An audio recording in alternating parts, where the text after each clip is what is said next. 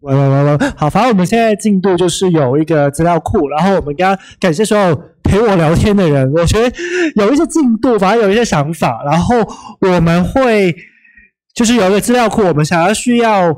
大家愿意加入的人可以加入我们的 Slack，然后我把一些就比如我们资料库讲的什怎么样啊，有没有什么资料分析啊，怎么可以做得更好，我觉得大家都可以下去看一下。然后我们有那个 flag 已经放在就是那个大熊的那个页面那个 spreadsheet 上面的，所以大家可以看。然后我们